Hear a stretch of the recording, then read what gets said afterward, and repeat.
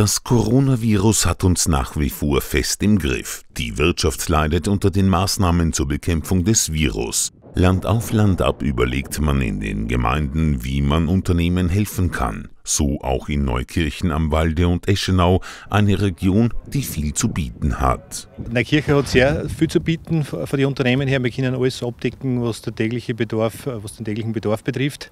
Äh, das heißt, es braucht keiner irgendwo hinfahren. Was Besonderes in Neukirchen ist, wir haben eigene Einkaufsgutscheine, die in jedem Geschäft eingelöst werden können. Das freut natürlich die Unternehmer, weil dort äh, die Wertschöpfung im Ort bleibt. Wir haben über 60 Betriebe bei uns in Neukirchen, vom Kleinunternehmer bis hin zum Großunternehmer. Unternehmer. Es ist grundsätzlich nicht nur in schwierigen Zeiten wichtig, dass man zusammenhält.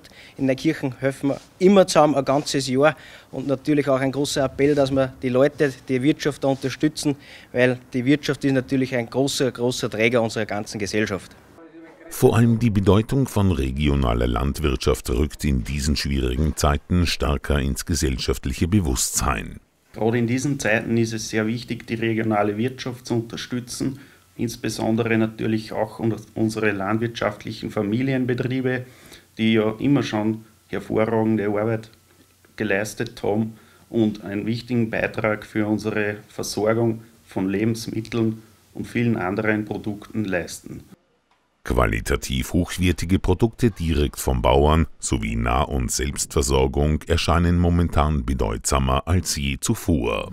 Es haben in letzter Zeit viele Kollegen dann auf Abholung gesetzt. Wir haben zum Beispiel in unserem Betrieb immer schon Essen auf Rädern gemacht.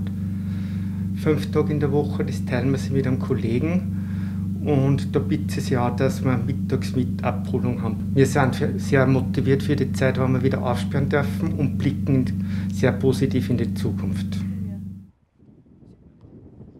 Gemeinsam stark, gemeinsam durch die Corona-Krise.